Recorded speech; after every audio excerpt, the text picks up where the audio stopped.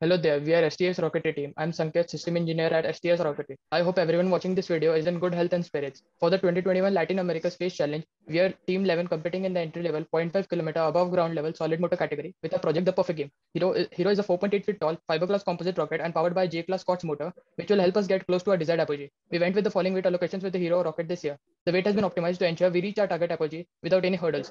We ran the simulation test on Open Rocket software, wherein our Rocket Hero reached the target apogee of 525 meters. As the target apogee is 500 meters, we have kept a margin of error of up to 25 to 30 meters here to neglect in the extra weight we can run in during the manufacturing of the rocket.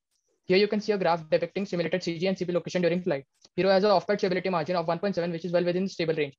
The motor selected for Hero is Cesaroni J425. It is 38 millimeters reloadable solid rocket motor, which will take a rocket close to the desired apogee in around 11 seconds. Using the open rocket simulations with the weather parameter set to the far side, our rocket is expected to reach an apogee of 525 meters. Moving on to avionics, here's Saakshi.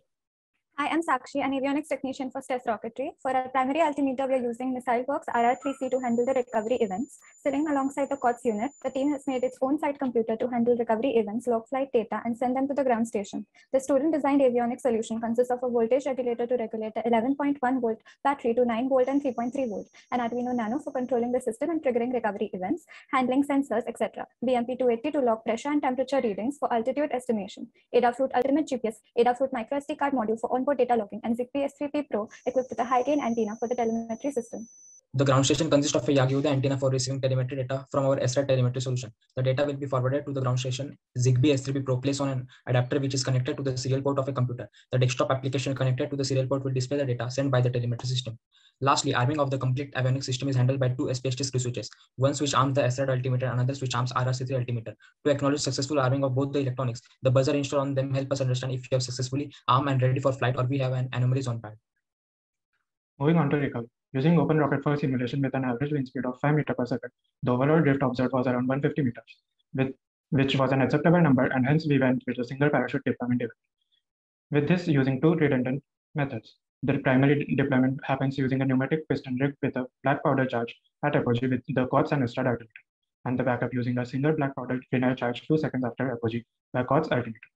For this project, the piston pushes the shaft after the apogee is detected, which moves the bulkhead sitting on the shaft.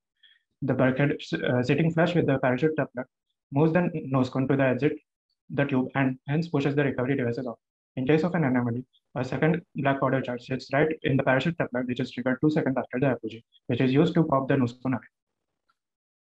While the recovery hardware used is selected in consideration of different shock loading, hence the harness, links, and joints used have a high factor of safety to account for greater risk during the descent. Shock cord is used to reduce the impact on the rockets connecting the bulkhead caused by the opening of main chute. Parachute weight and packing volume are an important factor to consider while calculating the force needed to be produced by black powder to eject the recovery system.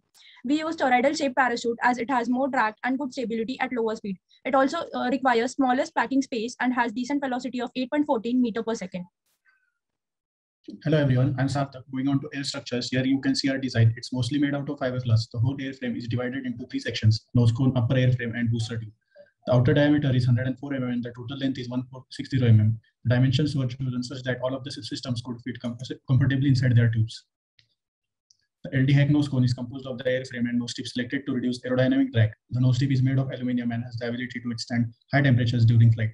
Total six bulkheads, mounting bulkheads manufactured of fiberglass and supporting bulkheads subjected to high load are made of aluminum. Two fiberglass coupler tubes were used to house parachute and avionics subsystems. Avionics coupler also acts as a coupler that connects the upper airframe with booster tube. Fiberglass was chosen since it allows radio frequency signals to travel through it. Here you can see few simulations done on different bulkheads. Moving on to Atharva. Hello everyone, I'm Atharva working as aerostructures, technician at STES Rocketry. Discussing about the structures, the upper airframe consists of parachute coupler and half of the avionics coupler with the respective subsystem components. The nose cone shoulder will be installed in the upper airframe. The material used for the upper airframe is fiberglass. Booster tube consists of motor, fins, fin assembly, and the boat tail. From the base of the booster tube, three slits were made to allow the fins to slide through. A fiberglass boat tail is used to reduce the pressure drag. After extensive study on open rocket, the team settled on using three fins of trapezoidal shape. Subsequently, fin flutter, cal fin flutter calculations were done using different materials, out of which aluminum was selected. To hold the fins in place, aluminum stringers are used. An M5 button head screw connects fins to the stringers, while an M4 button head screw connects stringers to the centering ring. Here you can see the exploded view of the fin assembly and the coupler tube.